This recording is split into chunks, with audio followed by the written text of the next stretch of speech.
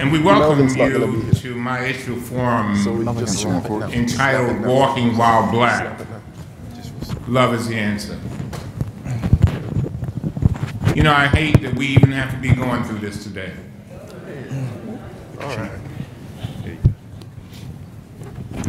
But yet and still, the issues between police and our communities an iPhone picture.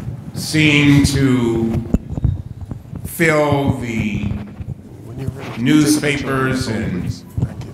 reports on various websites and certainly the evening news.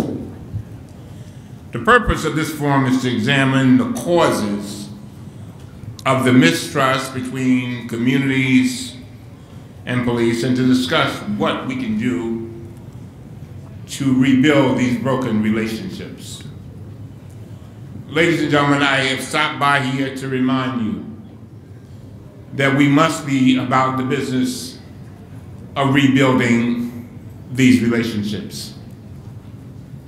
Because the community need the police, Thank you. and guess what? The police need the community. As a lawyer who practiced for more than 20 years, I can tell you that there are very few crimes that are solved without the cooperation of the public. And police will tell you that there are a few bad apples. I am convinced that there are more than a few.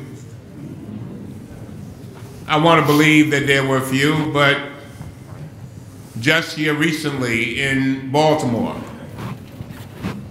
we had several officers indicted for planting evidence. How do you gain trust when you have officers planting evidence and people being fearful that may, they may be the victim of that? On the other hand, we are all very upset, I know I am, when any officer is harmed. People act like you cannot be concerned about Black Lives Mattering, and they act like because you are concerned about Black Lives Mattering, that you then have some hatred for the police, or you don't sympathize. Many of us have police in our families. Come on now. Many of us have had great relationships with the police. Can you tell? But one thing is for sure. there, Second panel. that if we start talking past each other, we will never, ever be able to solve the problems that we experience today. Am I right? Come on now. Mm-hmm. And so, in order to frame our panel discussion, we will have a, a viewing of the extraordinary documentary entitled Walking While Black Love is the Mad Answer. you, man, for leaving the Ravens. I want to thank Mr. rid. A.J. Ali, who you I will know, I know. meet in a few minutes, for creating this very important How you feeling? and very outstanding film in San Fran? or Did you move we are about to watch, Just want to check your mic. but also for joining us here today. The hurricane? How'd you make out? I so I also want to thank our entire panel, who will be introduced to you shortly for participating in, in our discussion. You plan on doing any type of work? and to Brother Anquan Boldin. I thank you for not only being the great sportsman that you are, but I also thank you for constantly reaching out into the community to make a difference. Understanding that you want to make a difference so that generations yet unborn will not have to fight the same fights. I know that you lost a loved one? To a police encounter. Just let me know. I want to thank you for not only for being willing to share get inundated with your story, but man, ah, I won't. but also for using your pain for the greater purpose of healing communities. As you know, I lost my nephew Because I'll do that. six years ago, gunned down, everyone to find a senior at Old Dominion Excellent. Thank you. College in Nor in Norfolk. Innocent young man just trying to be the best that he could be, gunned down. Five o'clock in the morning. Robbery. And so we have a lot of things we got to deal with, but today we're dealing with police and the community. We're here today to discuss ways to build greater trust between police and minority communities. We cannot afford to wait another day to have this conversation. We cannot wait for another headline. To break about another police-related killing of an unarmed African American. Right now, protests are taking place in St. Louis, Missouri after the acquittal of a white policeman who shot a 24 year old black man to death. As you all know, my own hometown of Baltimore is one of many, many communities across the nation that is now working to repair the fractured relationship between police and communities. And so it was nearly two and a half years ago after Freddie Gray was killed in police custody that scenes of my city in upheaval dominated the screens across not only the nation but the world. Sadly, those scenes from Baltimore are not the only horrific images branded in my mind. There's the image of a young man in Ferguson lying dead in the street. Somebody's son, somebody's brother, somebody's cousin, leaving a family mourning for what could have been. And there's the image of an unarmed man from Staten Island, New York, being dropped to the sidewalk in a chokehold. There's the image of a man outside of St. Paul, Minnesota, bleeding to death in his car with his girlfriend and her four year old daughter sitting right next to him. And all of us have seen it over and over and over and over again. And these bring up the images from what I see on my own block. See, I live on, in the inner city. I live on Madison and North, for those of you from Baltimore. Been there for 35 years. I see a young man, African American man, stopped, frisked, told to strip simply because he was standing on a street corner trying to catch the bus with his girlfriend. Come on now.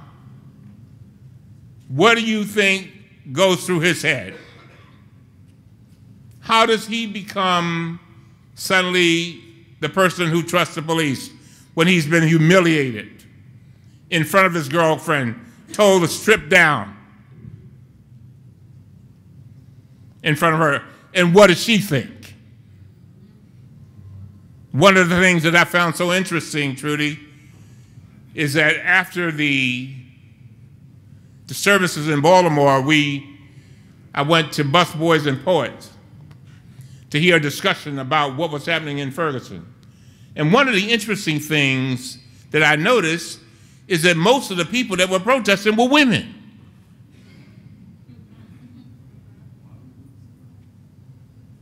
Knowing and worrying that their sons might become a victim.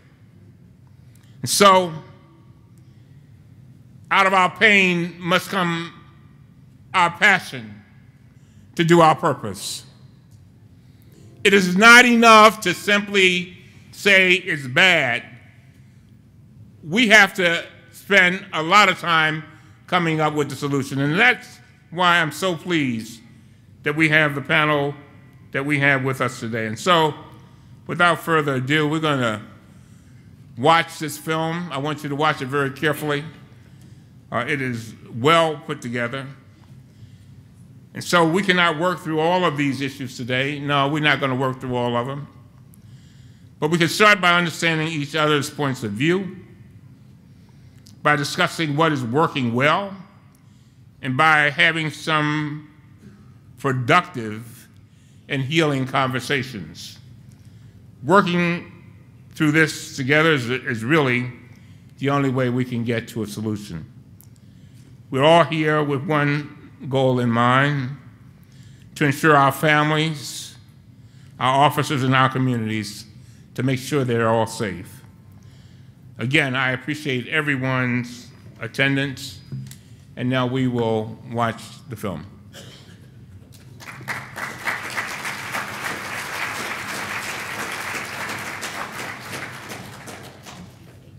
Let me introduce the producer, uh, Mr. A.J. Ali, the creator of Walking While Black, Love is the Answer. And following the viewing of the film, A.J. will uh, serve as a moderator for a panel discussion. And I hope that you all will, as you watch the film, jot down questions that you may want to ask of our panelists.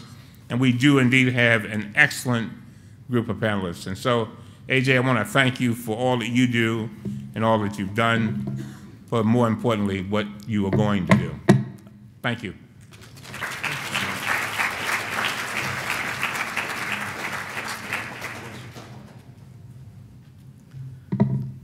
Let's give another round of applause for Congressman Elijah Cummings.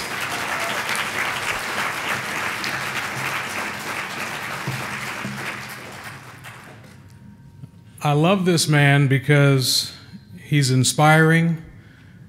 He has a heart as big as this capital, and he is here for all of you. I have met very few men in my life who cares as much about what he does and who he serves. Thank you so much. I'm going to be very brief. Yeah, absolutely. Absolutely. I'm going to be very brief, but I want to just share one thing. Um, and before I do that, my sister Inga Lynch, thank you so much. Stand, raise, raise your hand or stand up or something. She's, she was instrumental in helping to get this film made. When, when you get when you get profiled and no one wants to listen but your family, family, you know, you, you know, you know, you know what I'm talking about? Yeah, yeah. So I just want to shout out to her. So I want to share one quick thing. Um, there's an officer, Richard Reynolds, in the in the in the room here, and he's with the Montgomery County Police Department, and uh, he just shared something with me. Now he and I met recently uh, through a friend, Marquise Evans, who's a sponsor of ours. Uh, but what he just shared with me brought tears to my eyes because uh, he asked me about my mom, Shirley, who went through a cancer battle years ago. And who was it that took care of my mom, but his mom at Howard County General Hospital? And so, you know, back to family, we don't know how we're connected. We don't know who's going to be taking care of your mom Stand up, please, officer. We want to thank you for what you do.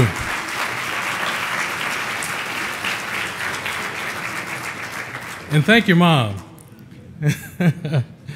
so, look, um, we're going to have a, a little three minute clip to play before our film. And the reason why we're going to do it beforehand is because the gentleman who's responsible for that clip uh, has to, to leave early uh, because of another commitment in New York. Uh, so we're going to play that clip and then I'm going to uh, introduce him and then we'll get on to the film. Thank you again for coming.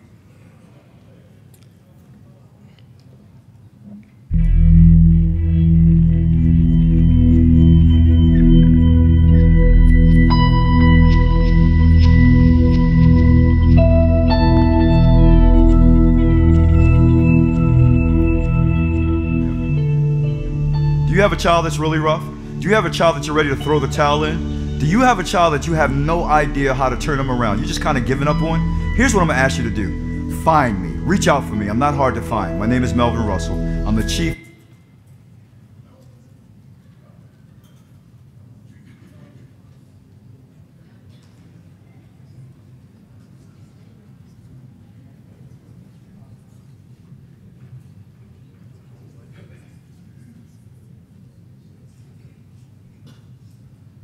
Community find me. Reach out for me. I'm not hard to find. My name is Melvin Russell. I'm the Chief of Community Collaboration Division for Baltimore Police Department. My team and I, we specialize in taking what some people call the worst of the worst, the children that we want to give up on. We specialize in taking those children, taking them away, far away, so they can't run back home, taking them away from a concrete jungle, put them into a civilian uh, type of jungle where we're surrounded by trees, we're surrounded by crickets, darkness in the night. But here's the thing that we do we transform their lives. We take the crap out of them and we pour love into them. And by the time you get them back, you won't recognize your child. They'll be respectful, they'll be mindful, they'll stay in school, they'll get good grades, and you'll be saying, What happened? I'm gonna tell you what happened. The Love You to Life summer camp got a hold of them and all those counselors, and we pour love into them like you do not understand, and you'll get an incredible child back. I beg you, send them our way before you discard them. We'll take care of them for you. I am somebody. I am loved. I am a leader. I am a leader. I am a leader. I am a leader. we knew that basically with a little love, a little nurturing, that they can get to the next level and be successful in society. The biggest part is towards the end, what we'll have is a big reveal. Um, we'll all be dressed like this, um, but I'll have those that have a profession of office. They'll be off to the side in full uniform. So as I call them out one by one, they'll come out in uniform, and you'll see the you'll see the shock value. You'll see the surprise in a lot of these kids if they haven't started figuring it out already. Senior Counselor Jeffrey Featherstone, where you at? We got to introduce one more. Please put your hands together for Director Mel.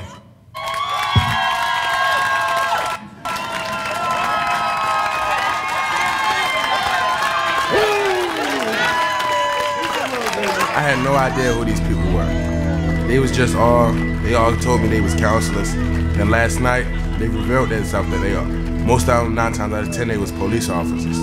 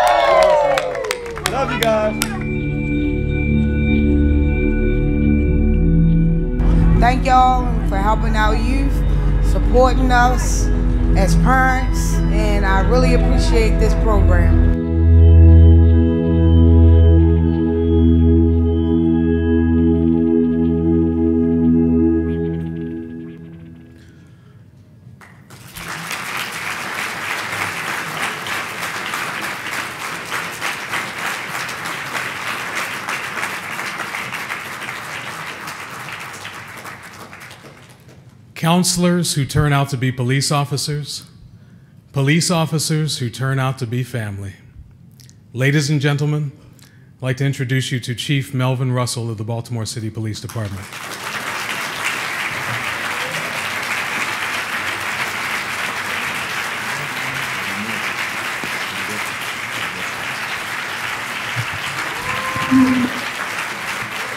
God bless you.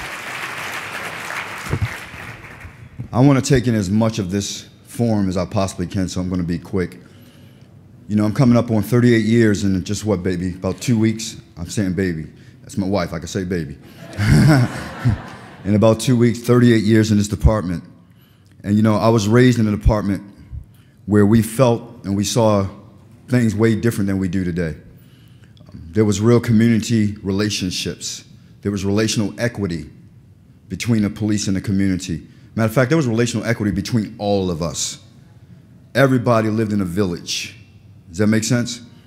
And I don't see that today. I don't see the type of police that I grew up being taught to be. And so I've self inflicted myself as I rose to a certain level and had a certain amount of little bit of authority. I rose to a certain level and said, you know what?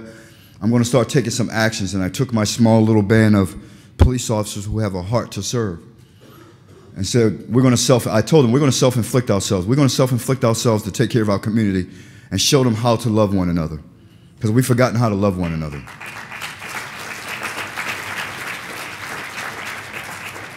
We want to not just love on our communities, but also everything that made up our community. So even our returning citizens. So we, I think we have the most phenomenal reentry movement in the country where we love on our returning citizens, and by the time we finish loving them, they all are gainfully employed. All are gainfully employed. Even the felons, even the felons. And so even with the justice system, we have judges, we have a whole lot of people we work with. Uh, but even those kids, we started that last year, that camp last year, and I said the kids were rough last year, but I want really rough kids. I want the ones that aren't going to school, absentee. I want, I want the kids that are bullied, cyberbullying, beaten up. I want kids who are trying to shoot each other and deal in drugs. I want the worst of the worst. And I don't know why my officers did this or how they did it, but you know, they, they, they scoured Baltimore City and found a bunch of pits, lifted up the pits, looked under the pits, and saw some children demon chained up in the pits, unchained them, and then brought them to that camp. I got more than I asked for. I got, I got more than I asked for. What you see there are some smiling faces, but they came in cussing, fighting, and not just each other, but the counselors who were the popo, y'all. Come on now. But we couldn't tell them, hey man, you pushing the police, but we couldn't even tell them that. But by the end of that, those 50 kids, every last one of them broke. And every last one of them lives were transformed.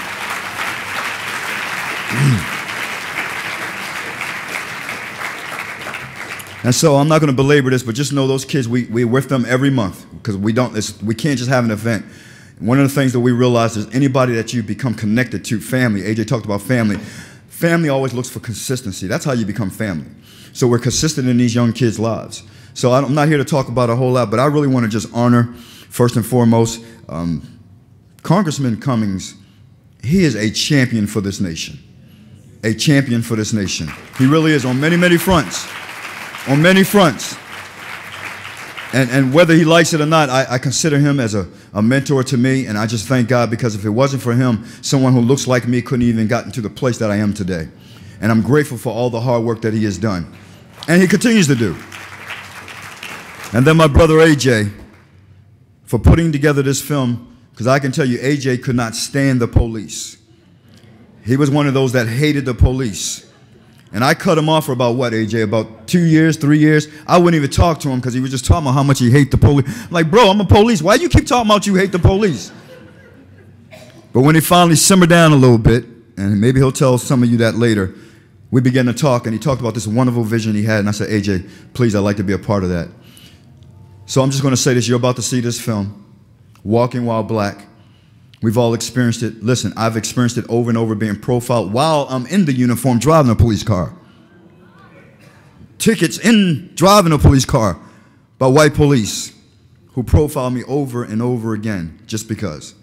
So I understand this. My wife and I, baby, stand up real quick, real quick. I got to turn this over. Stand up because she's so beautiful. I just like to show her off. Lolita, yeah.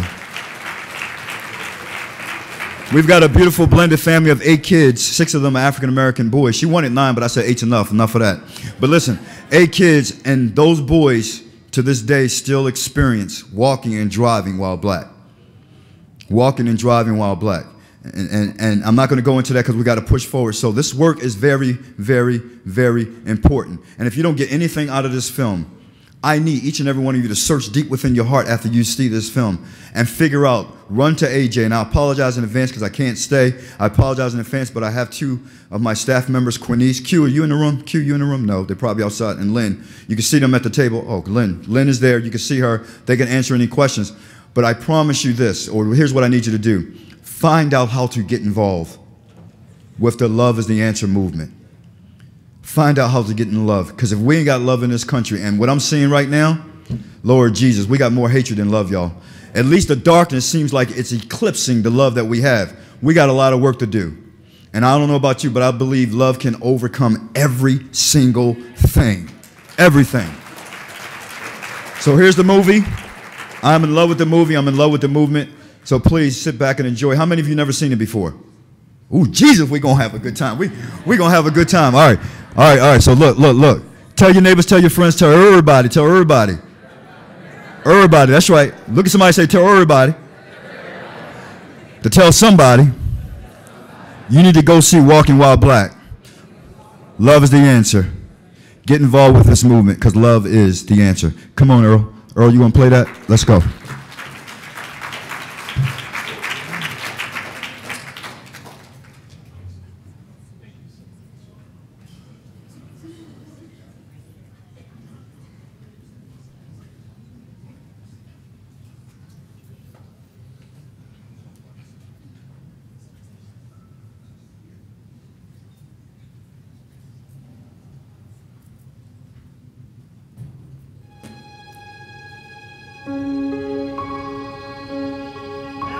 What are you looking at?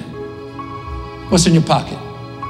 Hey, don't look at me like that. Hey, hold on. Come here.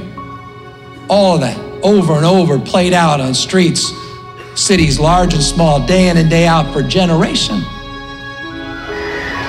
Black and brown kids being pushed up against the wall. You want to go to the root of some of the police relation issues? Lack of trust? It's serious stuff. We have a chance to end that.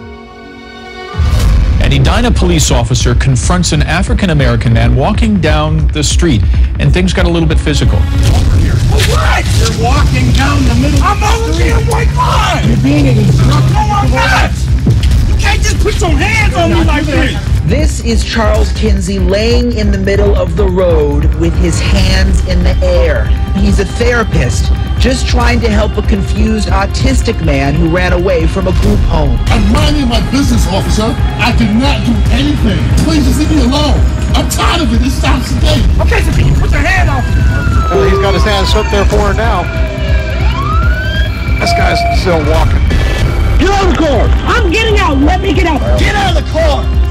And then you I will light you up! Get out! Wow! Now!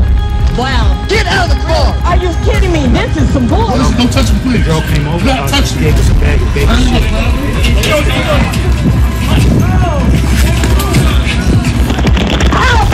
Oh my God! Put your hands behind your back. Oh my God! Put your hands behind your back. You are underwear. Put your hand behind your back. I can't breathe. I can't breathe. I can't breathe. I can't breathe. I can't breathe. I can't breathe. Put your hands behind your back. After they did tase show like that, you wonder why he can't use his legs. That looks like a bad dude, too. Which way are they facing? Police one, they're facing westbound. Uh, I think he may have just been tasered. Shots fired! Ooh. 321, we have shots fired. We have one suspect down. Then Charles says out of nowhere, a North Miami police officer shoots him. I still got my hands in the air. I say, no, I just got shot. And I'm standing there, so I'm like, sir, why did you shoot me? And his, ex- in his words to me, he said, I don't know. Gray asked for medical help more than once while being transported in a van. In fact, Gray's autopsy revealed his spinal injury was the only trauma to his body. Our children get killed in some of the most unbelievable ways. And when little black and brown boys get killed, it's almost a cliche. No- Ladies and gentlemen, please give AJ Ali another hand. It's a great film.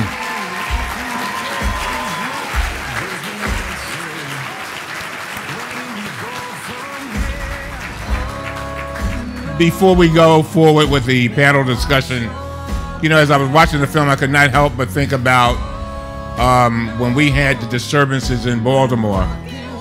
And the disturbances happened in my neighborhood, two blocks from where I live. And I'll never forget that night going over there night after night and meeting with the, trying to prevent any kind of violent activity between the police and my neighbors. And a lot of the people who were out there protesting were people that I'd known since they were little babies. And so here I am watching CNN, and I looked at the screen again, and I said to my, I said, Pookie, is that you? Ray Ray, is that you, man? I'm talking to the television, right? So I got up and went out and began to talk to them and got the ringleader. And I said, you know, because I knew that he had a lot of his boys there. And he said, he said, Mr. Cummings, you know, I respect you, man, but you know, man, you know, like, you know, we just gonna have to get, we just gonna go down tonight. we gonna get arrested. What? The, I don't give a. And so um, I said, I thought you had two children. He said, yeah. I said, I thought your your lady, she works down at the University of Maryland at night, right? I said, yeah. I said, well, who's gonna take care of the babies tonight? He said, I am. I'm supposed to. I said, you just said you're gonna be in jail. And then, you know, he kept, you know, just being all upset and everything. And then he put his, then I put my arms around him. And I said to him these words I don't want nothing to happen to you, bro. I love you. And I respect you. And he backed off, and the tears began to run down his face. He said, I, he said, I thought he was going to hit me. He said, Man, you the first brother that ever in my life said that they love me. And when I look when I thought about the film that we just watched, Ali, and then that love is the answer. That love and that respect is the answer. And so, again, we want to open up the dialogue. Um, we're going to go for a little while longer. Come on up, man.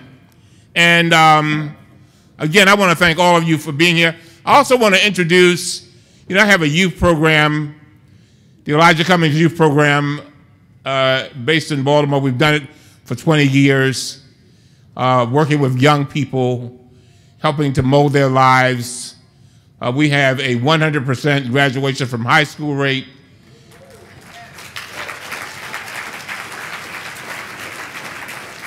and a 99% graduation from college rate. Why don't you all stand up?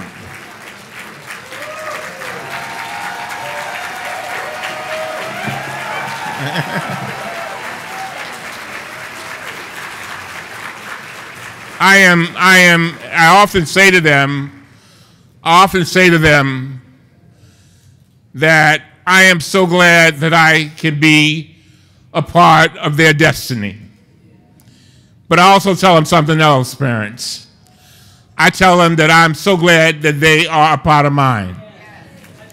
Because, because, because part of my joy comes from seeing young people rise up to be all that God meant for them to be.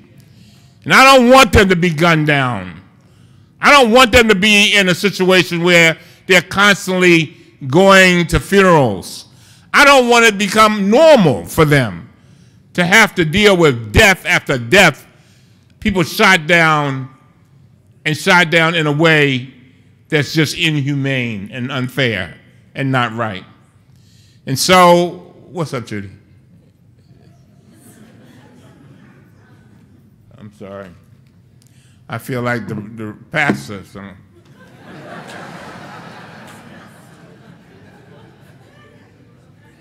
Too bad I can't read her writing. Firefighter students? African American firefighter students? Why don't you all stand? African American firefighter students. Hey, hey, all right now. Good to have you all. She, she I guess she wanted, she wanted to be, you know how women are, they try to be all proper and proper, appropriate. She read, wrote it in red, firefighter. You got it. Amen. I'm the son of two preachers, so y'all, excuse me. Ladies and gentlemen, again, Miss uh, Ali, AJ Ali. And, and I want to also thank all of our, our panelists who are going to be introduced now.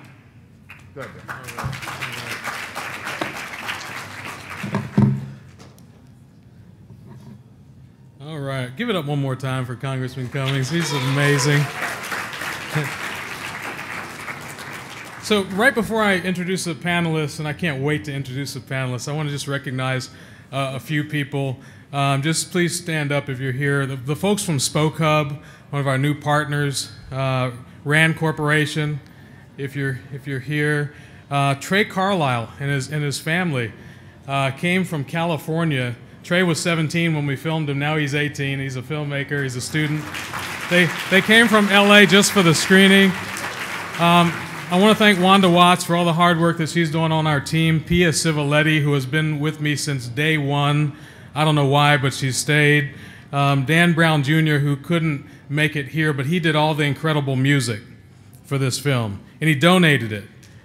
Yeah, and and he's a white dude with, filled with soul who came from a racist family, and his heart did not vibe with theirs, and he wound up contributing thirty thousand dollars worth of music to this film to help bring people together.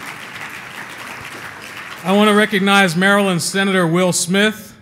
Senator, you can please stand. Thank you so much for coming out. And uh, Jerome Stevens from Senator Ben Cardin's office is here as well. And uh, there we go, right back in the back there. Thank you. Senator Cardin has been. Oh, and.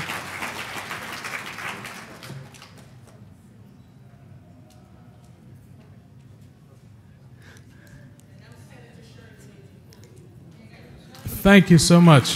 Thank you so much. All right. So here we go. I'm going to bring up our, our panel, and I feel like I should have some music or something playing for this. Um, I'm just going to go down the list here. I don't know where they're, they're, they're seated, but you can find your name tag. So this is this is a great honor for me because this guy played for my favorite football team. Three-time Pro Bowler, Super Bowl champion. I'm not even going to mention the other teams. I'm just going to say Baltimore Ravens and Quan Boldin.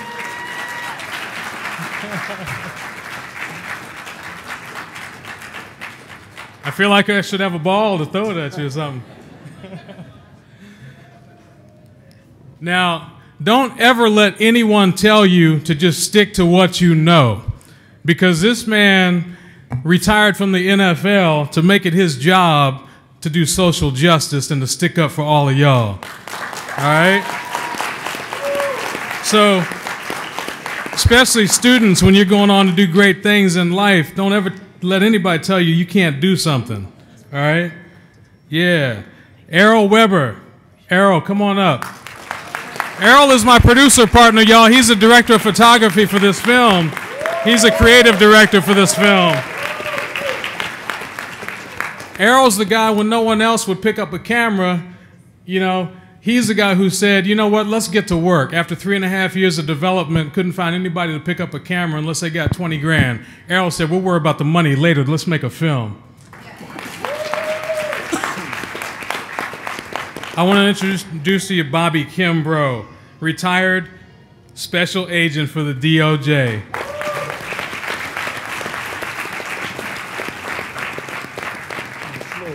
Bobby drove up from North Carolina to be here, and he's, he's an amazing guy.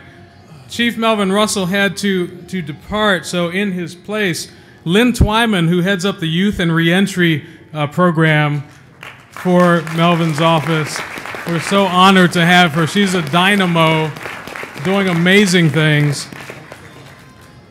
Neil Franklin is the director of Law Enforcement Action Partnership, LEAP, based here in Washington, D.C., and they're doing great work all over the country. This is a group of uh, police, uh, law enforcement officials who have stepped up to say, you know what, we're not going to. We're not going to accept, accept status quo. We're going to change things and make things better. They're putting that love into action every day. And Dr. Philip Atiba Goff, president for the Center of Policing Equity. Any nerds in the house? Represent. All right. So here's what I'm going to do. I'm just going to throw a question uh, out to the panel, and we're just going to go right on down the line, okay? And then we're going to, uh, after about 15 minutes or so, we're going to open up for questions. So we do have a microphone in the middle, so when we get to that part, just line up behind there, please. So let's start, uh, ladies first. Um, I just want all of the panelists really to say we're talking about love as action steps. Learn about your community and the people in it. Open your heart to their needs. Volunteer yourself to be part of the solution and empower others to do the same. What does love mean to you, and how can it be applied to repair, improve uh, police community relations in this country? Okay, great. Can everybody hear me? All right, good afternoon. Again, my name is Lynn Twyman. I'm the Youth and Reentry Program Administrator for the Baltimore Police Department. When we talk about love, for me, it means starting with ourselves first. Um, a lot of the trauma that we experience in our communities is as a result of unaddressed trauma that we as individuals have incurred, um, starting mo for most of us in the home, okay, from infancy on up. Um, and I can speak personally to this because I am a survivor of domestic violence um, growing up. And um, I've experienced homelessness growing up as well. And so I've seen a lot of dynamics, and whether it's in this work or working with the police department or in the community providing domestic violence prevention education, I always tell people in order to advance and in order to serve your community, you have to start with a love of self first. It always starts with me, myself, and I.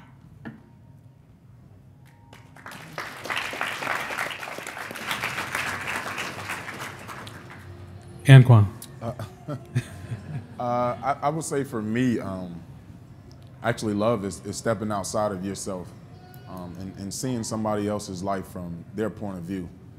Um, I think that the thing that we're, we're, we've been missing as a, as a country, you know, we talk about love, but I think it's um, important for us to understand the kind of love we're talking about, we can't do absent God. And that's first and foremost. Um, in order for me to love the next person, um, I have to be willing to serve that person. I have to be willing to step outside of the way that I see things and step into their shoes.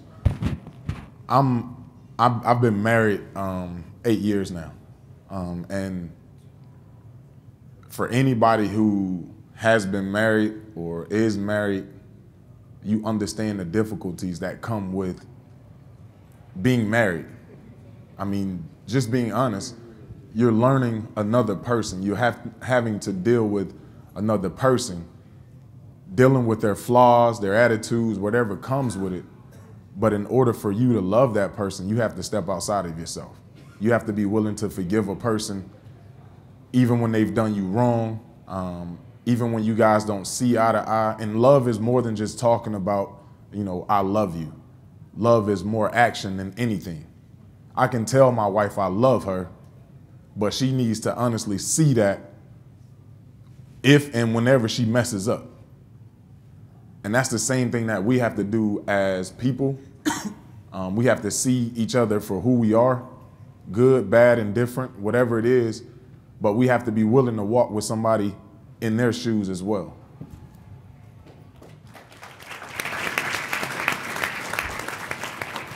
And uh, I just want to reemphasize what he said about the marriage thing because it really is a marriage between, well, you know, whether it's husband and wife. I've been married 23 years, but between police and community, it's a marriage, right? And divorce is not an option. We have to figure out a way to make it work. You know. Um, before we go further, I just want to recognize a couple other people. Amy Stratton is with the Congressman's office, and she is amazing and has been just a, an incredible person to work with who put all this together. And Mark Adams back in the back there. Mark, please raise your hand. He's our he's one of our associate producers, and he's been doing sound and lighting, and you know, there's just you know folks like them and, and Pia and Wanda. You know, you just can't do this kind of work without incredible people. Speaking of incredible people, Errol Webber, what does love mean to you, sir? For me, it's important for love to be put into action for you to express it. You can't just, I know I'm echoing what Anquan said, but you can't just say you love someone. Uh, I, I do this all the time, and AJ is probably sick of me using this analogy, but uh, just, a sh- uh, just shout out uh, what is the opposite of love? Indifference. God, you just have to be the smart one, huh? So, so the opposite of love is not hate. The opposite of love is indifference. Indifference that comes in the form of complacency, uh, the failure to act. Um, indifference that comes in, um, in, in all kinds of different ways where a non-action can actually hurt people around you. And one of the things I want to stress with putting love into action is that even though when you go out into the community, you go out into the world to try to be a positive person, you may not see the effect of what you do to show love to them now.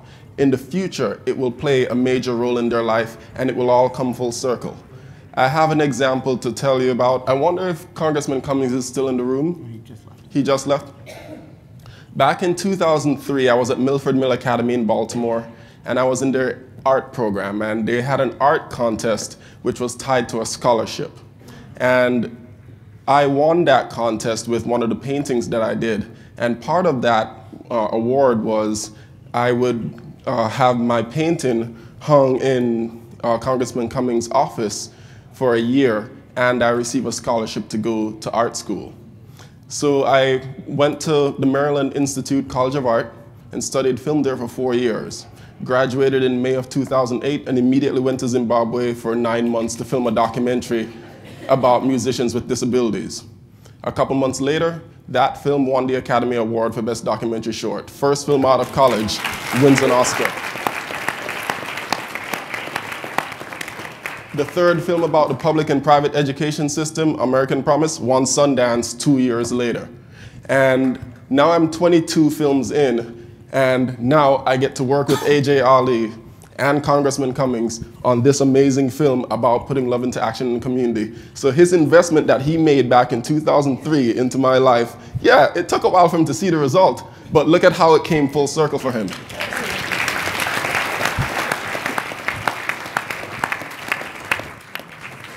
Yeah, you never know what's going to happen when you build into someone's life, right? And uh, so that's important to remember. We might not uh, see some of the things that we do uh, turn into fruit, but in some cases we do, and it's great when it happens. And um, I want to recognize Lisette Ubidis right there, who's in our film and working with us. Going to be in our book, The Love is the Answer book, coming October 21st. So let's go on to Dr. Goff. So, what love means to me, I can't help. I'm looking at the, the younger faces up in here, and I can't, can't help but thinking back to when I used to be. And, and don't worry, you're not necessarily seeing your future in front of you. Um, um, but I'm thinking about what it felt like when I was around your age and what it felt like when I started to think about love. And I thought, what's the first thing I did when I felt like I loved somebody? The first thing you do. No, not that thing. The other thing, you pay attention. You pay attention, you notice. You're aware of what they're wearing day to day, who they're talking to, why they're not sitting next to you. I'm done clowning you, it's okay. Um, but you pay attention. And when I think about love and community, love and community is when we're paying attention. Let me tell y'all what it doesn't look like. It doesn't look like being a civilized nation with all the money that we've got and having absolutely no idea how many people are shot by cops every year. That's not paying attention. Love does not look like having no sense of what the predictors are of racial disparities in our communities. That's not love. If you're paying attention, you measure. If you're paying attention, you have a sense, you have an intimacy of knowledge about what's going on there. I want to give just one example because no one has ever said, I want to hear more nerd when there's football players on the dais. That's never happened once in life. Um, but I give just one example of what it means to pay attention from a nerd perspective. Okay? Because I'm not just a professional nerd, I am also a nerd in my spare time. Um, so, the Center for Policing Equity, we run the National Justice Database. It's the largest database of police behavior in the world. Okay? We're very proud of that fact. Um, and with that amount of paying attention, Here's one lesson I want to give to you that I gave to myself when I started paying attention to kids in school having contact with law enforcement. Now, raise your hands if you ever knew one them badass kids. Badass kid. Kid got in trouble right away. Raise your go ahead. Don't lie. Raise your hand on up. Okay? And the ones not raising your hands, not paying attention, or don't want to admit that's your kid. That's okay. That's fine. I don't have to talk too much about you from up here. Um, I'm looking at a data set looking at kids on trajectory, looking at two years worth of data on those kids. And we got them badass kids, the kids who are doing dirt right up front before we even touch them, before they even get into high school. They got a couple of arrests. They're self reporting that they're, they're doing drugs, they're involved in alcohol. Y'all know these kids. I'm predicting later on they're going to have the most contact with law enforcement. Of course. Of course they will. What if I told you, you start paying attention, you learn that's not true? It's not true. Say, someone told a lie one day. It's not how bad the kids were when they started. That doesn't predict how much contact they have with law enforcement. Here's what is predictive the amount of contact you have with law enforcement predicts how much you're going to be in trouble later on. Contact with police can cause criminal behavior, and here's why. Anybody ever get hemmed up by the cops? Anybody ever get frisked, get tossed? Said, what are you doing? Why are you here? Okay, go ahead, go on. Knowing you didn't do nothing wrong, and you know they know you didn't do nothing wrong, and then the next day they come back around. If I'm gonna get tossed that way when I'm following the rules, why do I wanna follow the rules going forward? Getting hemmed up by the cops is part of what's causing delinquency in adolescent boys, black and Latino boys in particular. And if you paid attention, you would know that. That's how data and nerddom translates into love in terms of social justice and racial justice with regards to policing. Love starts with showing up and it ends by paying attention.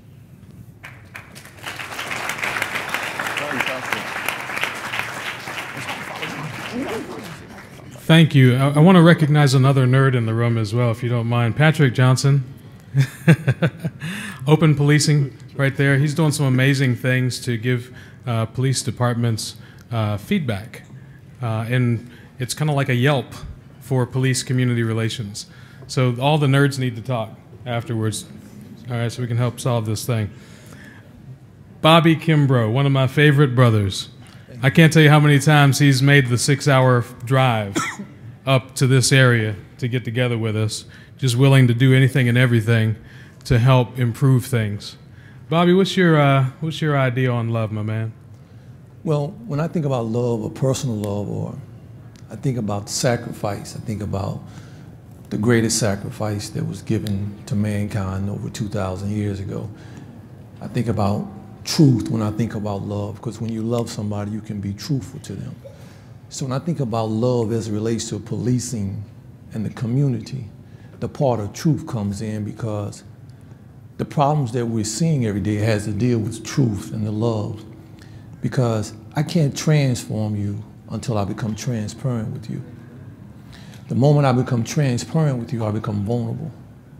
That means that when the brother spoke about loving his wife, his wife has seen a side of him that none of us have ever seen. She's probably seen him cry. Some of us have probably never seen that. So when you talk about love, that's a powerful thing. What are you willing to do? You know, when you look at the rainbow, it'd be hard to pick out what color makes the rainbow so beautiful. It's all the colors blended. But the problem that we have here, from my perspective, from where I've seen it, from visiting all 50 states and traveling all over the world, is that we've yet to address the truth We've talked about it, but we've never went to the root of it. So until we really experience love to where we love one another regardless of race, color, creed, or gender, and I can love you based on your differences. I can base, love you based on where you come from. And once we start to love one another and that true love, that true love, then we can get to the root of the problem.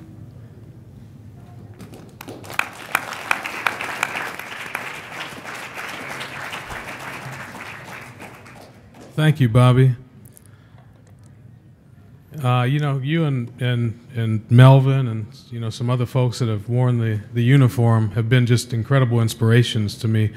Uh, you've been through the same things that we've been through, and now you're you know spending your time trying to help make it better. So we really appreciate that. Um, same holds true for the next uh, speaker, Neil Franklin. Um, Neil, uh, you guys do some really unique work, very powerful work. Can you share how LEAP uh, spreads love?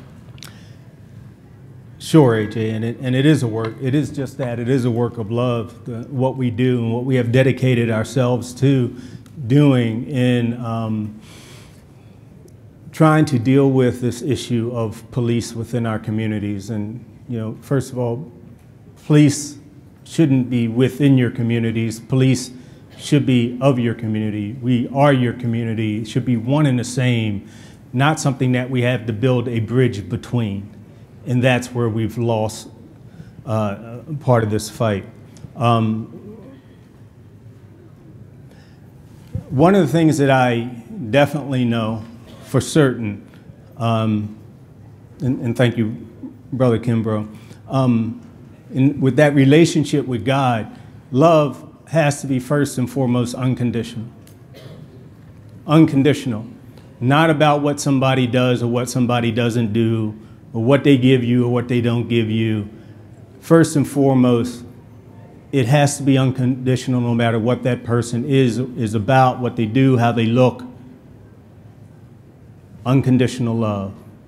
From this, from this point, from this perspective where I am in, in law enforcement, where I gave 34 years of my life, more than half of my life, um, it has to be agape love. Bobby, as you said, sacrifice. You have to be willing to sacrifice yourself for the people that you serve within your communities. And if you can't deal with that, if you, if you can't handle that, then you need another job other than policing. It's, um, you have to be able to to see people, and I mean really see people and acknowledge people and let them know that you see them and communicate with them in a way that they know that it is unconditional. Yeah, I may not be happy with what you do. That's something else. But first and foremost, as a human being, I love you. And you heard Melvin say that. Let me tell you, that's Melvin. That's Melvin Russell. That is his persona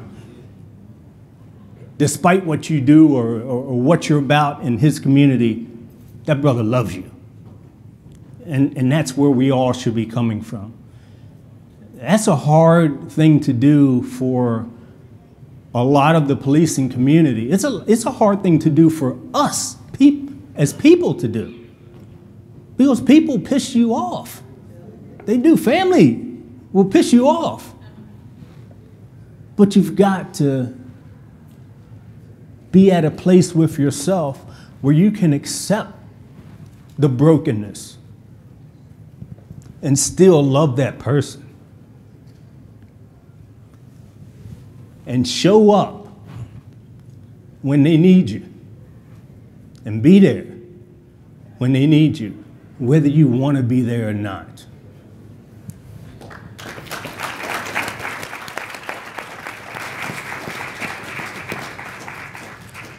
So I'm going to ask one more question, but before I do that, would you turn to your neighbor and say, I love you? Love you, bro. Love you, man.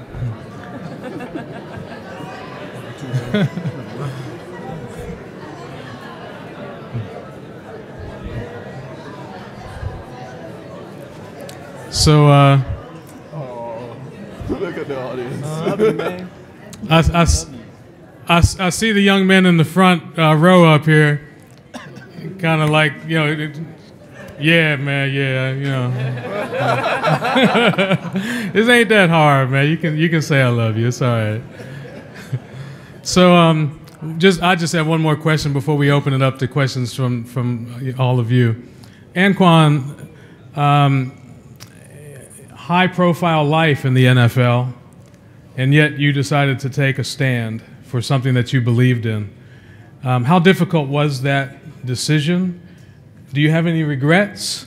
What's, what's next uh, for you in, in this journey? Uh, the decision for me was difficult. Um, simply because I, I love the game of football. Um, it's, it's something that I've done for practically my entire life. Um, it's something that I've dedicated my life towards. Um, I can remember being a young man um, telling my parents that I would one day make it to the NFL, and from that point on, my whole life was dedicated to getting to um, the NFL. So for me to to walk away um, while, while I'm still able to play um, was a difficult decision. Do I still love the game of football? Yes. Do I still have a passion to play? Of course I do. Um, but I feel like for me, there's some things that are more important to me um, than football at this point in my life. Um, I, I've lost a cousin to at the hands of a police officer. Um, my cousin was playing in a band, um, coming home from a show that he did with his bandmates, and broke down on the side of the road. And while he was on the phone with roadside assistance, he had a a, a police officer pull up on him. Um, it was an undercover officer. He was in an unmarked vehicle, and my cousin was on the phone with roadside assistance, and the officer pulls up, doesn't identify himself as an officer. He just looks like a, a normal person. And he asked my cousin, you know, is everything good? Do you need help? My cousin's like, you know, I'm fine. You know, I'm on the side on on, on the phone with roadside assistance, so they'll help me out. Um, so he asked my cousin, really? My cousin was like, yeah, I'm fine. Really? Yeah, I'm on the phone with roadside assistance. They'll help me, so I'm good. And three gunshots go off. So for me, it, and that happened um, like two years ago. So for me, it's more than just seeing it on the TV screen. Um, it's actually living, living it. It's actually going through it right now. Um, this officer is still, he's on house arrest at this point. Um, he's still able to work a nine to five. He's still able to go get haircuts. He's still able to take his, his kids to school. So my family is still dealing with this.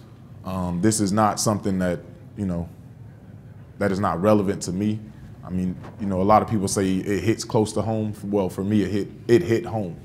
Um, so I just feel like, and then, you know, I was in training camp with Buffalo this year, and then the whole Charlottesville thing happened. And for me, I wasn't proud to be an American because that's not the America that I want to leave to my two sons, where people are being hated because of the color of their skin, or because of the way that they choose to live their lives, or because of the race that they that they are. I mean, you can't help that. Um, so for me to to walk away from football to try to help um, foster relationships, it was a difficult decision to walk away from football, but it's it's something that I don't regret at all and it's something that I'll continue to fight for until I'm dead and gone. So. All right.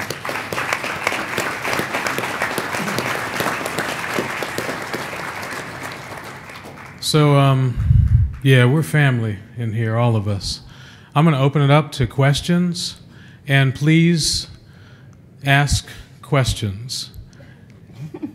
and keep them uh, short, please and um, we'll try to get in as many as we can.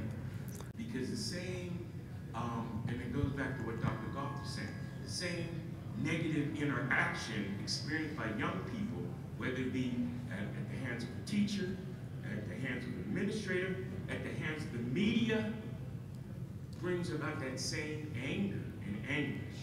So I think love is the answer as a concept, is, is awesome. Love is the answer as a, as a uh, action step needs to address more practically the sources of authority and power that are bringing about this anguish, not just police officers because of their attractability because of the uniform. Okay. Thank you. Your question, sir? I don't have a question. I have okay. a comment. Kim,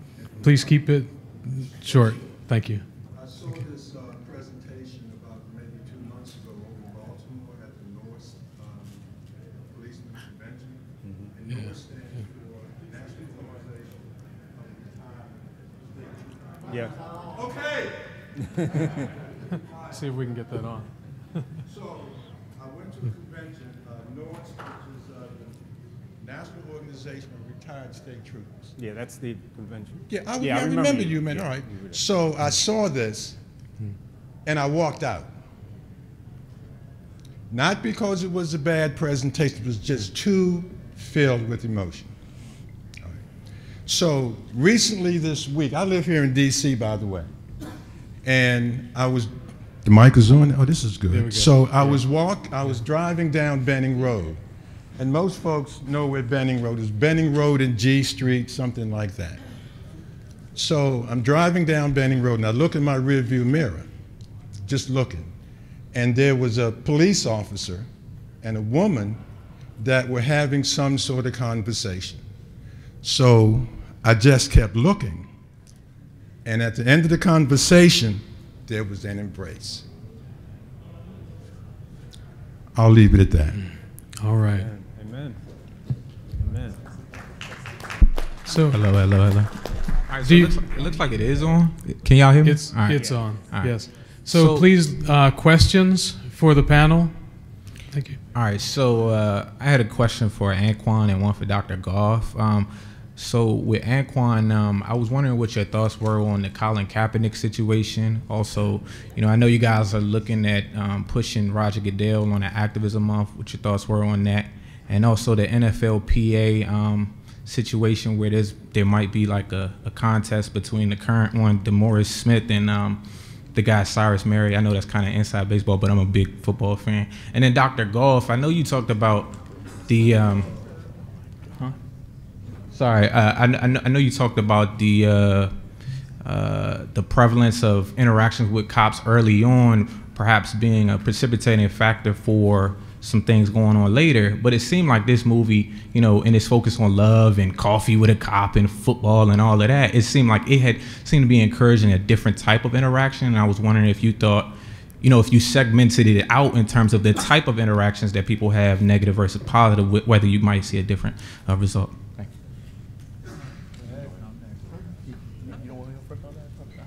I'll go ahead and go first on that. Um, so it's a, it's a great question whether or not the, the kind of contact matters. Only up until a point.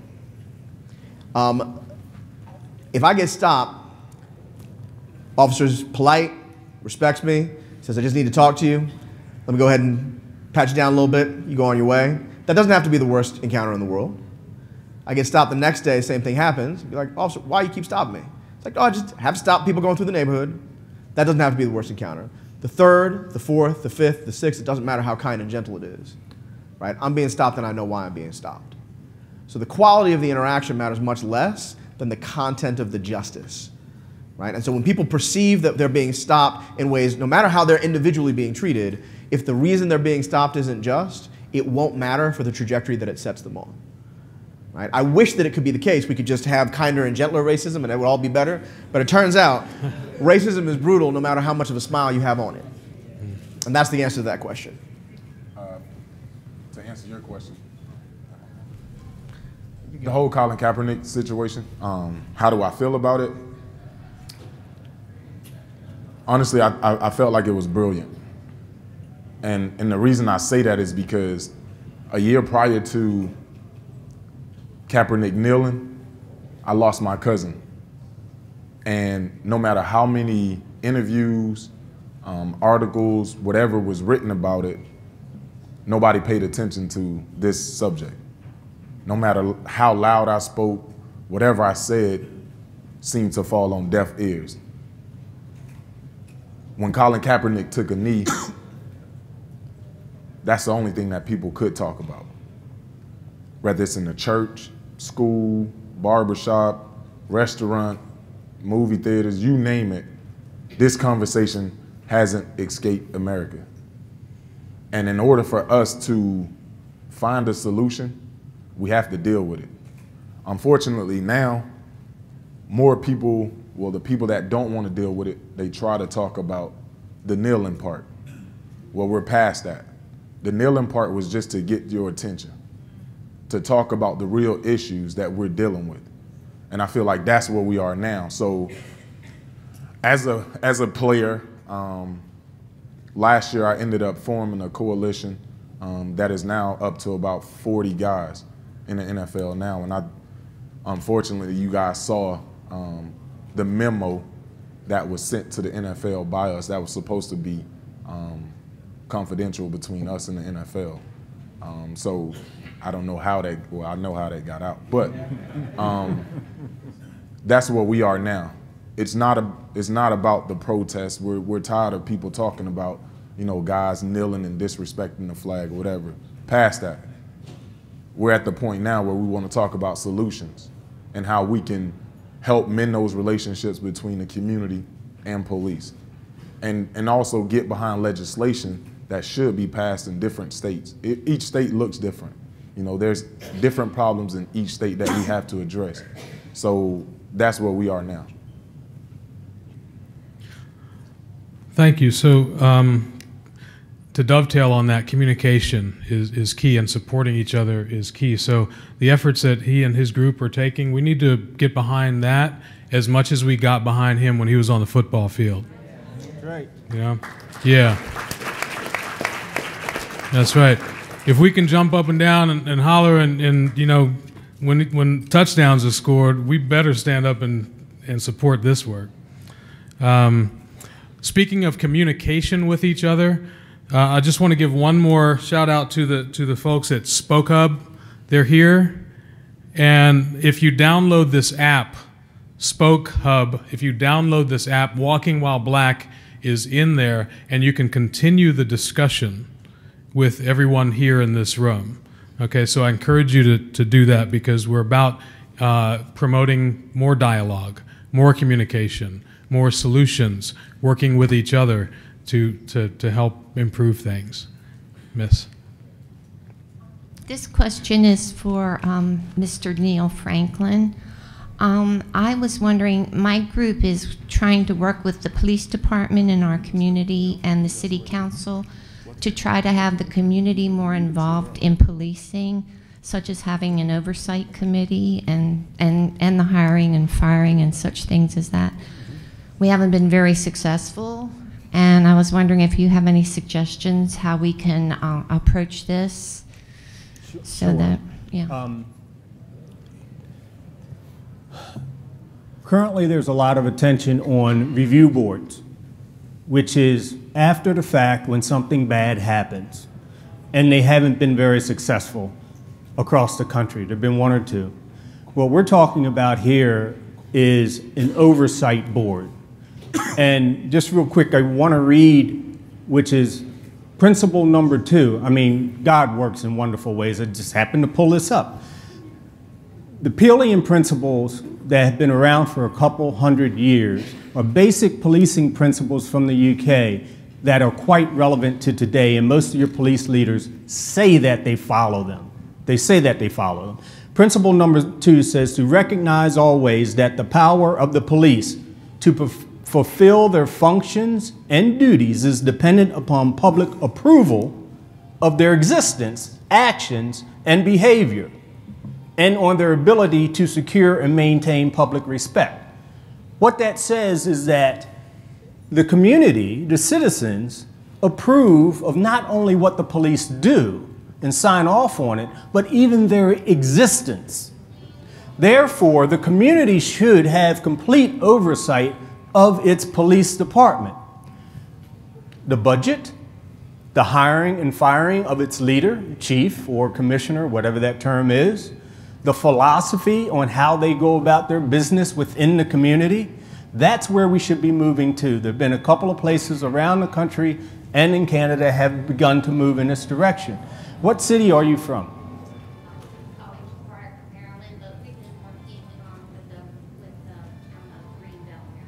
Okay, College Park, Maryland. I'm very familiar with that and Greenbelt. That was where I cut my teeth as a state trooper in Maryland. I will give you my card and we will work with you on developing that in College Park. It's where we all should go, really. It's called civilian led policing, is what it is. Absolutely. So we're going to start a rapid round. Oh, please, please. So we're we're going to do a rapid round of questions and answers now because uh, we have about 12 minutes left. uh, gentleman in the back there with the great suit on, that's going to be the last question. And so we'll just uh, go short questions, short answers, and we'll try to get everybody in. Sir.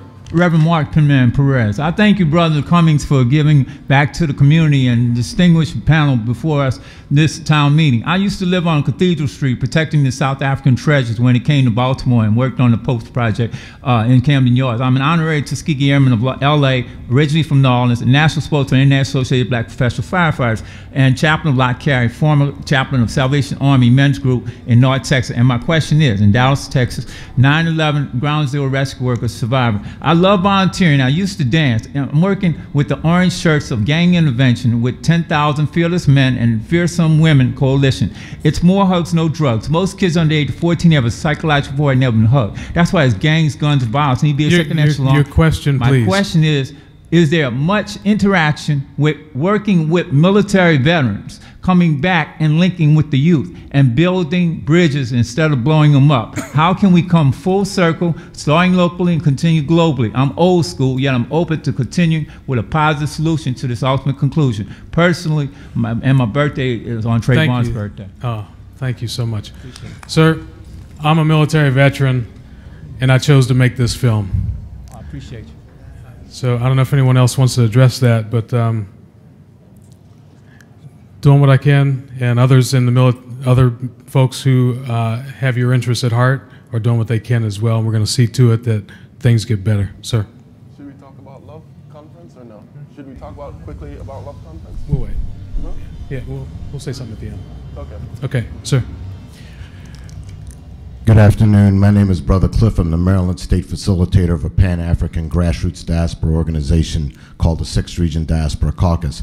First of all, Mr. Boldin, the Ravens should have dispatched a limousine full of money to keep you in Baltimore after the Super Bowl.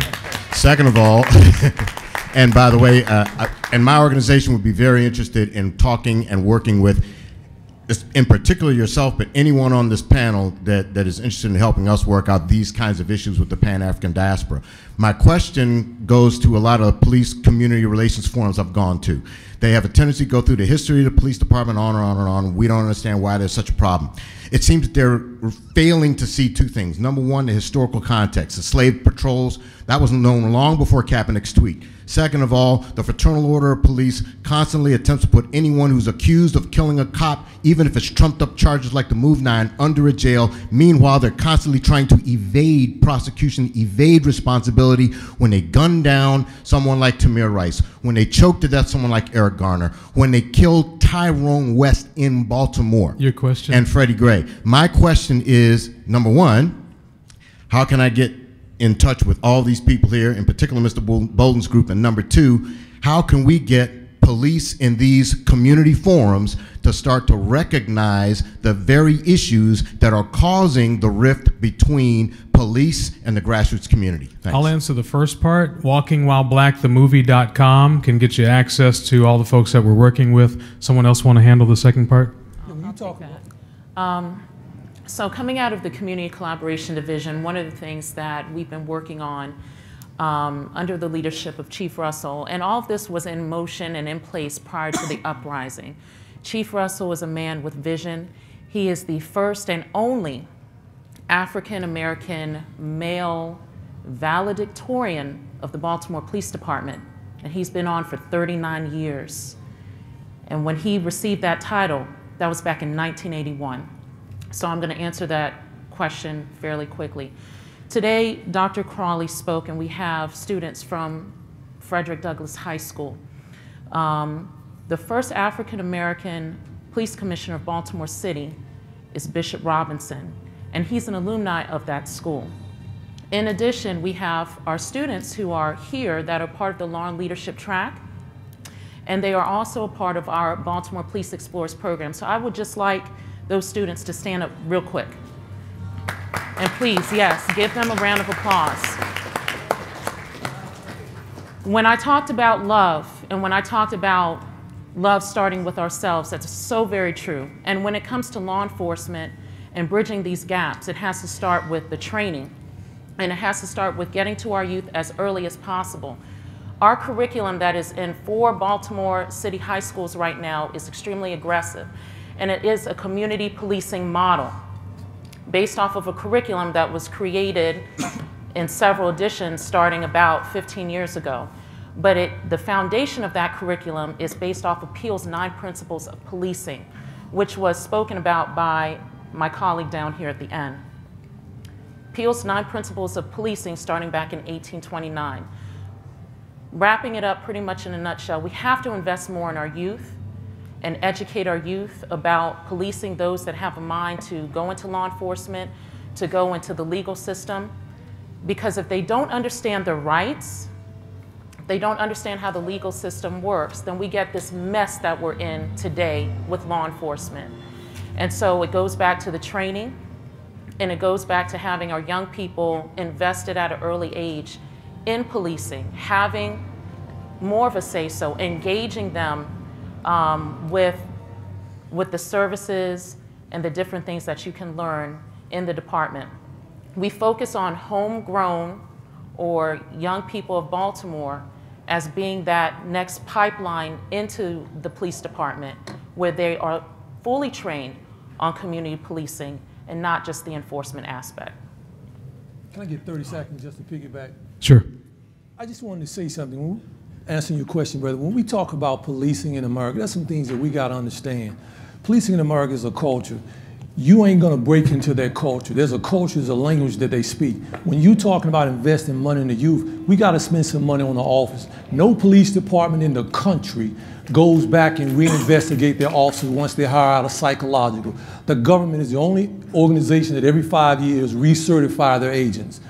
An officer that's hired in 2017 will not be the same officer in 2018. And I'm just going to keep it real. Because when you get to a place in life where you've seen more years than you're to see and you're emancipated, because they're to pay me as long as I've lived because I've done my time so I can speak freely. Having conversation with the police department at a coffee shop it ain't going to be a real conversation. Because I got to answer to the people that pay my salary. Just, just like I don't even know this lady. She won't tell me the ins and out of her household.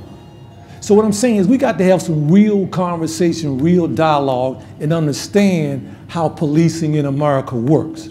Not from a theoretical standpoint, from a practical standpoint. We've got to understand that we all come to the table with some embedded racism, some embedded injustices, and until we start address, addressing the root, and I get kind of frustrated when I drive six hours on my dime and just a brand new knee, I don't have time for coffee shops.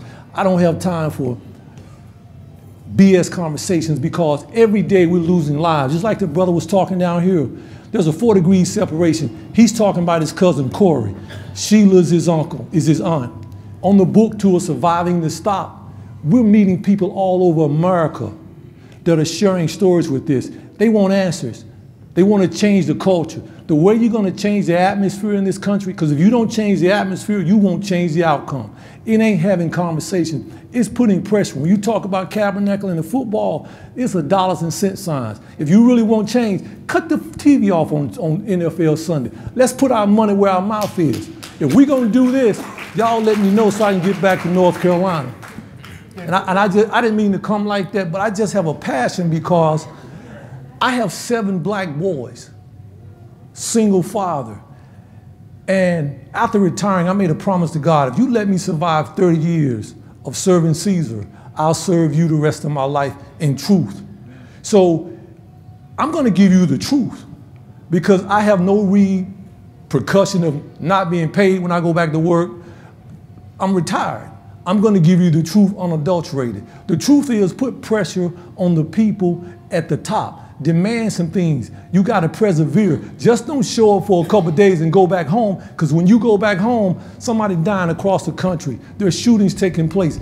We got to galvanize and be persistent about it because each profession speaks a different language. Policing speaks a different language. The clergy speaks a different language. Teacher speaks a different language. I didn't mean to be like that, but I just had to bring it like I felt it. Thank you, Bobby.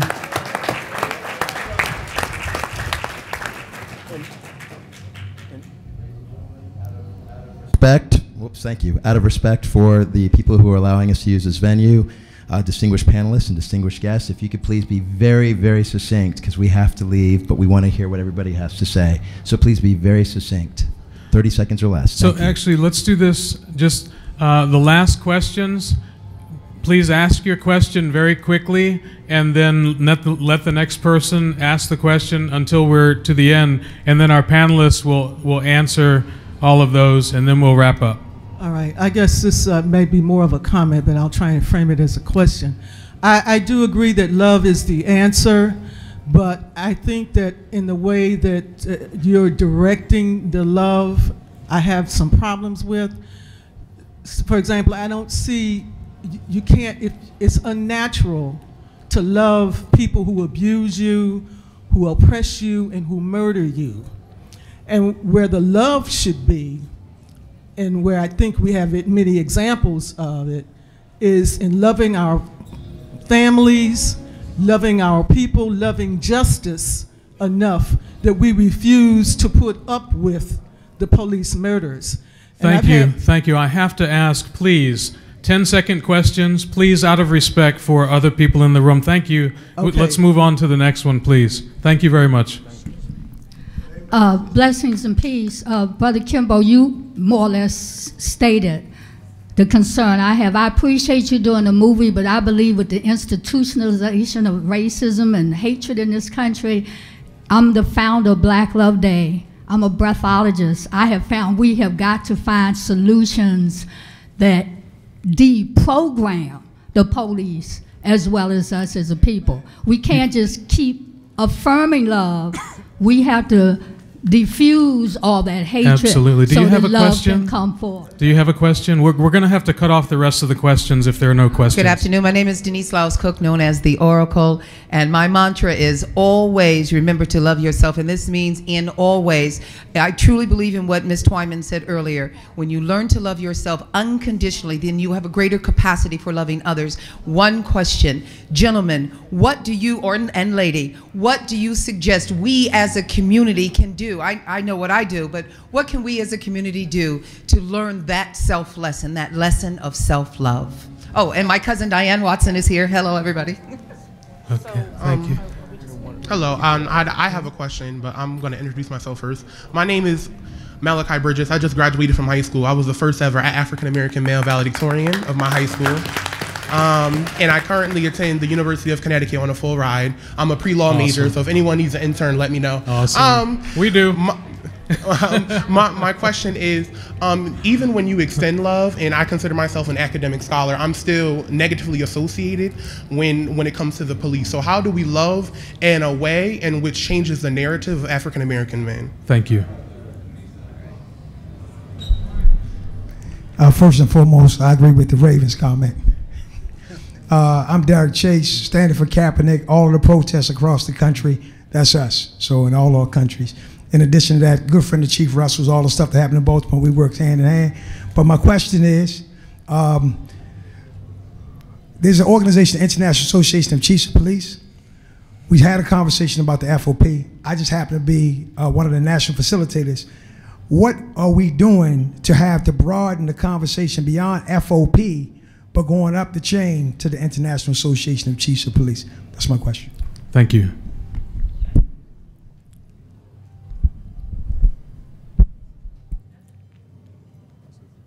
That's it? Okay.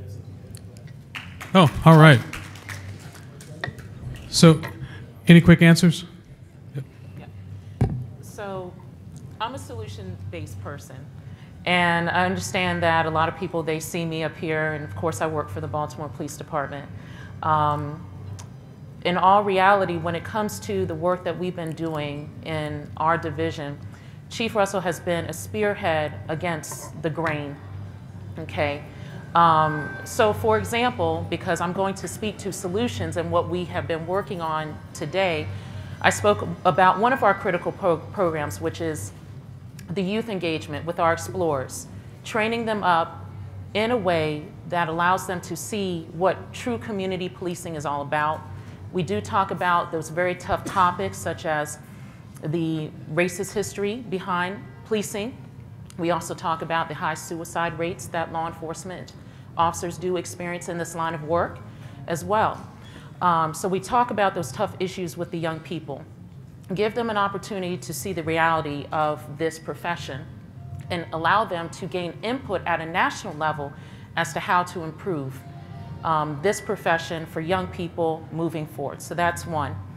The second thing that we've instituted, and I can also speak to that personally, is the reentry program that we have. Again, we started that prior to the uprising. We have officers and we're engaged with the community, service providers to go behind the walls and actually do referral case management. We support the returning citizen. I can speak personally to this because my father is a returned citizen as well. And so we have a dedicated team of people, again, contrary to the normal belief of what law enforcement should be doing in order to improve our communities.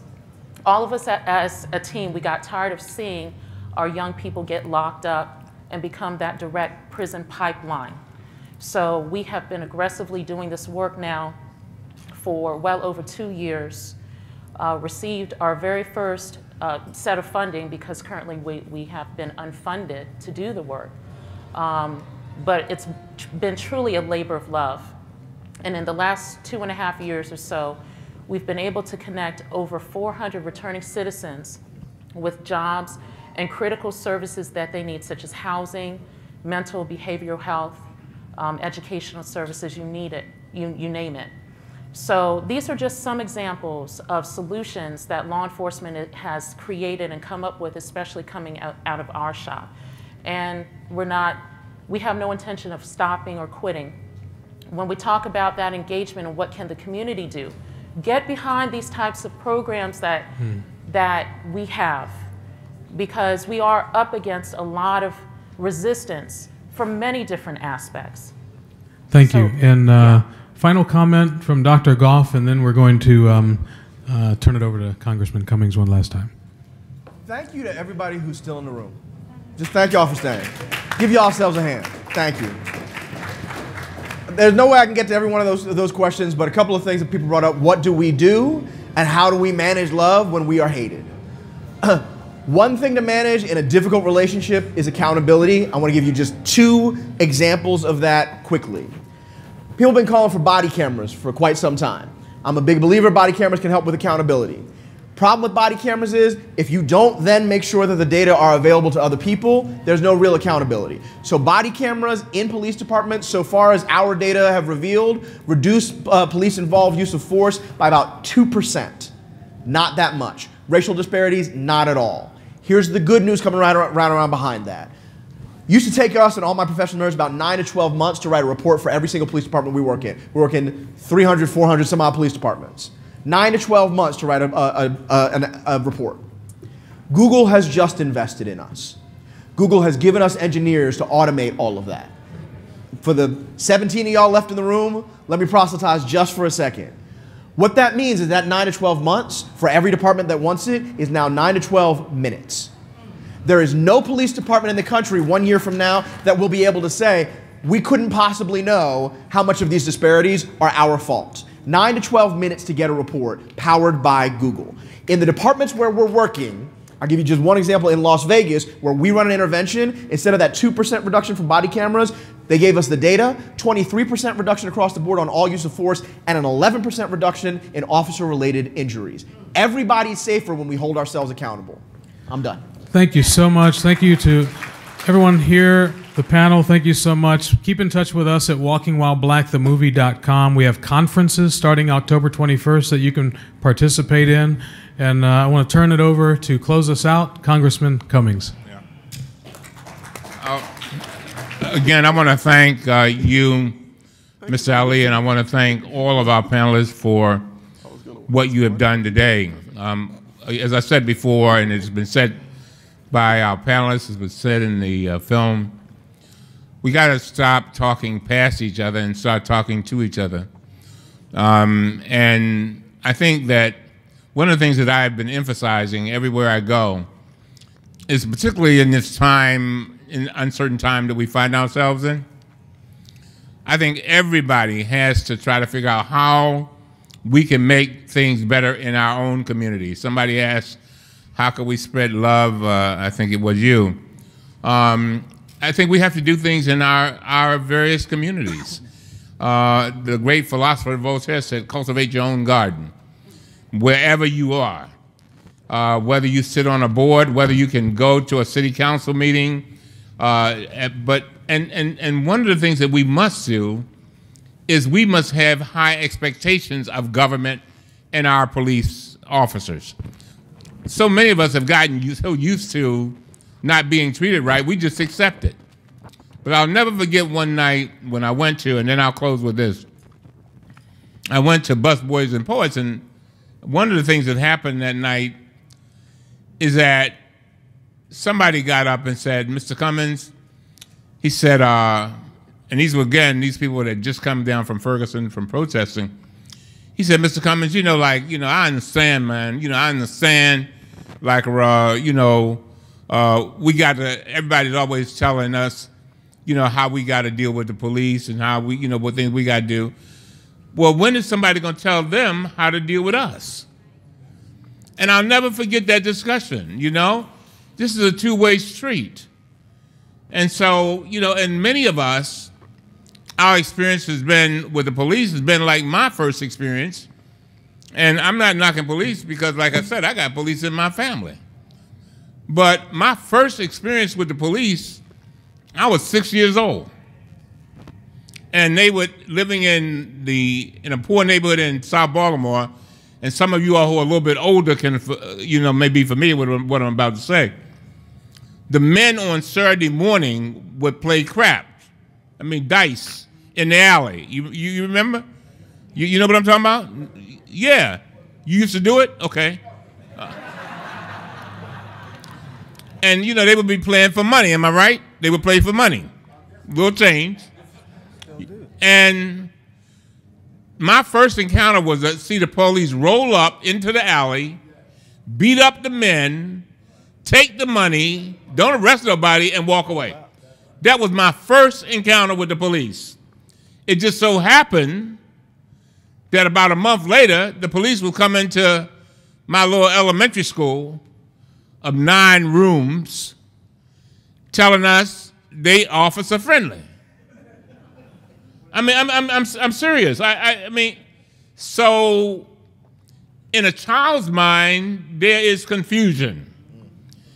And then, but we see things happening over and over. And one of the things that I've noticed is that, you know, when you begin to talk about these issues, if you really begin to talk about them, you begin to realize that there are a lot of people who have gone through the same thing, or somebody's son, or somebody's father, and it is amazing. And so we have to keep forging ahead. That's why the people in this panel are so important. They have made a decision. And I, I, the brother, I can't, the brother who just said, he stole some of my stuff, something that I say all the time. I tell young people, I tell them, I said, you know, you got something that I would give, I would pay you for. I would give my everything but my, my wife and my children. I tell them, you got time. I tell them, if I could buy some of your time, I give everything but my wife and children. And so, what the folks up here are doing is they have made a decision. They have made a decision, but not only have they made a decision, but they decided to act on their decision. Their decision was is that we're going to try to create a brighter day for other people. We want them not to have to go through hell. They, they, they, they took the words of Nancy Wilson in that song where she said, If I could, I would. If, you don't, if you've never heard the, the words to that song, you need to look it up on, on YouTube. If I could, I would. What they're trying to do is save some pain, save some lives, and make a difference. And so I want to thank all of you for being here. It means a lot to me. We got to keep this conversation going. There are others who will say, Cummings, what difference does it make? Well, well, myself will tell you, I don't do anything unless I can get a result. No, but I'm looking for results. And I'm looking of ways to be effective and efficient. But panelists, let me tell you something. You have caused somebody in this audience or somebody's to go back to their communities and work harder. And there are things that you have said that will ring in their minds as they sit in that city council meeting, as they insist that the mayor have a strong police accountability board. Ali, they will look at this film and realize that, you know, this ain't no joke. It's not just happening in one place, it's happening all over the place. And so, again, I want to thank all of you. First of all, I want to thank y'all for staying. Amen. Thank you for staying. And give our panelists another hand, please. And don't forget, and don't forget, Brother Ali, Ali, I just want to make sure that we get this film seen by as many people as possible. I'm gonna let you close out to tell them. I just want to make sure that film gets out to Lottie, Dottie, and everybody. How can we help you make that happen? Go ahead. Thank you. Thank you again. So we do need your help. We're independent filmmakers. We've given up everything for this except for our families.